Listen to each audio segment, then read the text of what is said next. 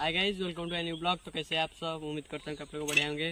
तो गाइज़ मुझे थोड़ी सर्दी हो गई है, इसीलिए मैं सही से बोल भी नहीं पा रहा हूँ। देख सकते होंगे मैं खेत की तरफ़ घूमने आया था। ये सारी सब्ज़ी के खेत है। देख सकते हैं, ये गोभी है, और ये कलारा है, और इधर अलग अलग सब्ज़ी है तो मैं तो सारे बोल नहीं सकता।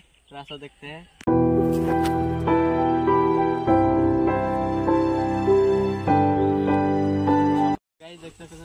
भाई साहब सब्ज़ी को हरियाली रखने के लिए कुछ डाल रहे हैं। हमको तो पता नहीं तो आगे चलते हैं। तो गाइस पानी देने के लिए देख सकते हैं, ये पानी के पाइप भी डाल रखी है। तो उधर सारे लोग काम कर रहे हैं खेत में, देख सकते होंगे। ये सारे गाँव के लोग हैं।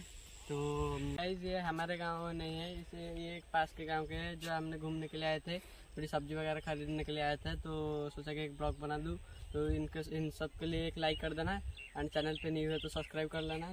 तो गाइज़ ये लोग सारे गाँव में खेत बारा करते हैं, सब्ज़ी वगैरह लगाते हैं, इसलिए आप शहर बैठ कर खाते हैं। तो इन लोगों के लिए तो ये वीडियो को इतना ज़्यादा शेयर करना कि सरकार की तरफ़ से इन लोगों को और भी सुविधाएँ दिया जाए, ताकि ये अच्छे से चाष कर, जो अच्छे से खेत कर सकते हैं। तो आज के लिए इतना ही, अगली वीडियो मिलते हैं, तब तक के लिए।